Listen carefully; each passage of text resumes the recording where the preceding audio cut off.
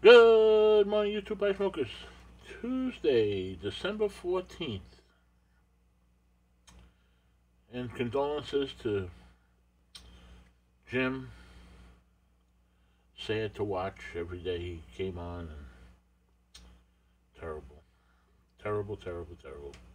And of course, not the ideal, it's never an ideal time for somebody to pass. But around Christmas, it's extra hard. Keep him in your thoughts and prayers, and um, he looks like he has a lot of support.